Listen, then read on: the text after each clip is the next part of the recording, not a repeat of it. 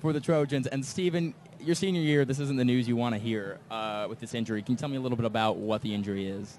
Uh, I have an avulsion fracture in my right ankle, and it means that a little piece of my bone came detached from the rest of it.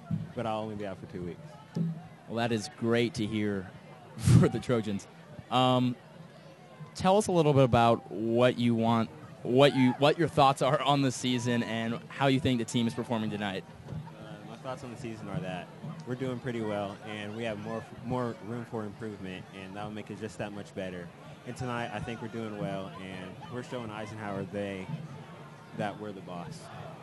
Yeah, a, a guy on the Eisenhower team um, that you may be playing in basketball this season. Why don't you tell us a little bit about him? Uh, the guy on the football team is Trayvon Evans. He's pretty good at basketball, but he's not impressed me here tonight on the football field. He might want to stick to basketball. Well, looks like they are going to have to wait to square this one off on the basketball court. Steven, any ending thoughts to what this injury may mean to the team? I know you're only out for a couple of weeks, but do you think it has an effect on the team? Uh, it's showing that we can come together as more of a team and that we have interchangeable parts that can replace each person at any time. That was a great answer.